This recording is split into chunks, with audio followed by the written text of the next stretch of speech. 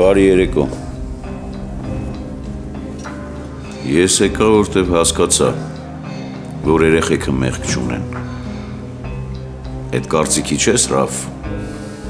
Այդ կարծիքին։ Ես քեզ կօգնի, չէ՞։ Մի քիչ հանգստանալ ու մի քիչ սպասել։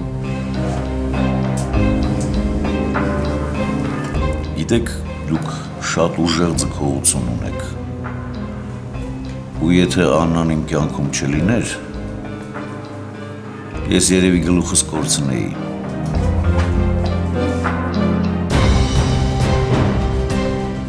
Ներսես դու ինձ որպես ինչ ես սիրում։ Որպես ընկերուհի։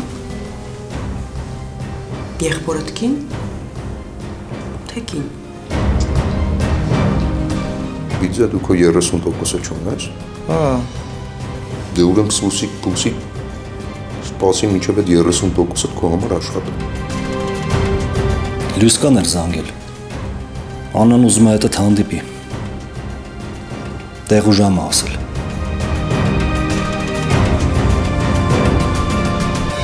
Ավազե տղյակ, շապաթորը, Արմենիա պրեմիումի եթերում։